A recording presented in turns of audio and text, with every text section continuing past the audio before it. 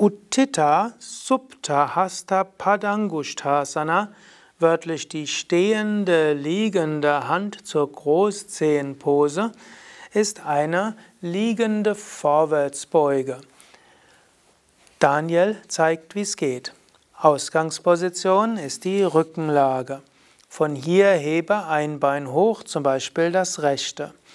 Und dann hebe das Bein so hoch, wie du kannst und fass dann mit der rechten Hand um den Großzeh, indem du Zeigefinger und Mittelfinger zwischen großen Zeh und zweiten Zeh gibst und den Daumen entweder von außen um den großen Zeh oder von vorne an den großen Zeh gibst.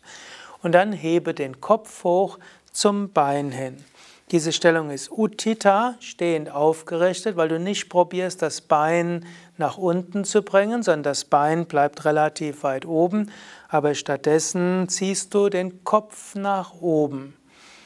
Uttita Supta Pada Hast, Uttita Supta Hasta Padangushtasana ist eine Vorwärtsbeuge, eine liegende Stellung, eine Übung, mit der du auch den Reflexpunkt des Ajna Chakras stimulierst, indem du eben um den Großzeh herumfasst.